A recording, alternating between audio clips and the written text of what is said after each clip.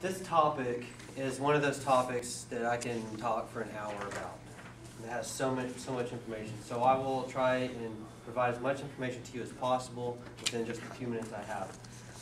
So what is data really? Well, data is any information saved digitally. Though the dictionary defines data differently, the dictionary defines data as statistics and, and other items like that. But language, actually, the way we use data today is defined is we use data a little bit differently to define as information saved digitally. Many aspects of data are out there. We have one common term we know about are cookies. People are afraid of the big bad cookies and, and all of that. So let me explain to you a little bit about what a cookie actually is. I never delete cookies, though there are a few exceptions when I run scans, and I'll explain to you a little bit about what that is about. But a cookie is nothing more than a piece of information saved or downloaded by websites that you visit, any website.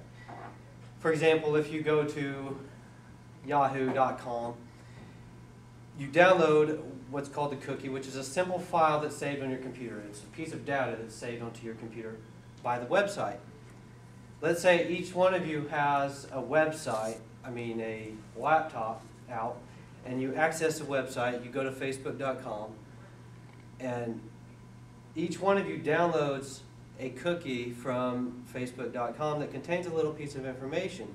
So what happens now is next time you go to facebook.com, it will look at the specific cookie that you downloaded, this little piece of information that you downloaded from Facebook. When you go again to Facebook, it will look at that piece of information and match it up with information on their website.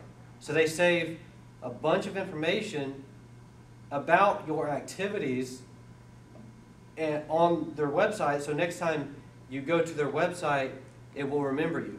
It will look at that little cookie that you downloaded and it will provide you with the information necessary for you. It's a, you can think of a cookie as an ID, a tag, just a piece of information that's necessary. And it's, un, it's unharmful, essentially. Which brings me to the next type of cookie, which is a tracking cookie, which is used to track your activities online. These again are essentially unharmful.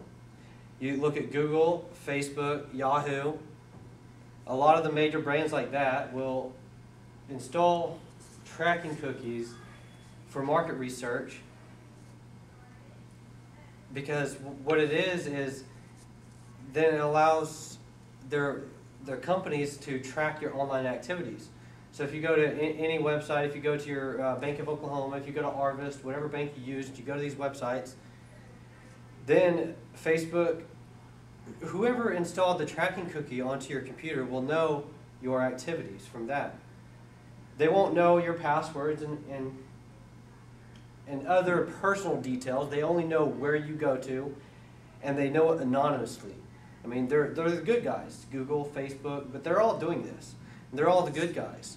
But here's where the problem comes in, which brings me to the next point, which is called spyware. And this is where the trouble comes. First, you need a good, solid system with integrity. Because if you have a system or a computer with integrity, you're less likely to receive what's called spyware. Spyware. Well, spyware is is meant usually to do harm, to steal information. So they might use a tracking cookie to, for example, get your username and password from your banking websites. That's probably one of the easier ways to hack people, is to create software like that. Of course, there's protection available to protect you from all that. If you use a free, free antivirus, you're less likely to to catch some of these vulnerabilities. But if you upgrade your, your antivirus software, you can, you can actually prevent some of these tracking cookies from getting onto your computer in the first place. But again, the uh, tracking cookies are essentially unharmful, but you're dealing with software like spyware.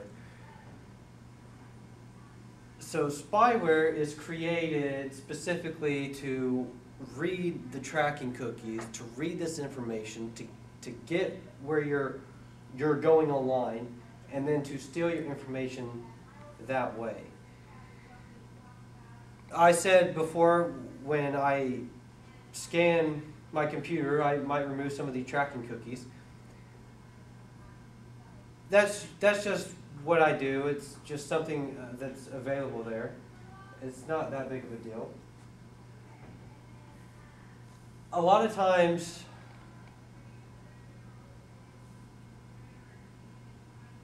lot of times spyware can actually send messages on somebody else's behalf. And we see this a lot, and you might think that your account is being hacked and whatnot, but it's actually really easy to do to send an email to pretend like it's coming from somebody else's email. A lot of times, too, spam can happen uh, just automatically. They don't care how big or small you are as a company or as an individual. They're just there automatically. Uh, it's just software that runs throughout the internet and crawls throughout the internet. And it, it, it's just there specifically to spam people, to get on people's nerves. Anyway, that concludes my speech. Thank you for coming.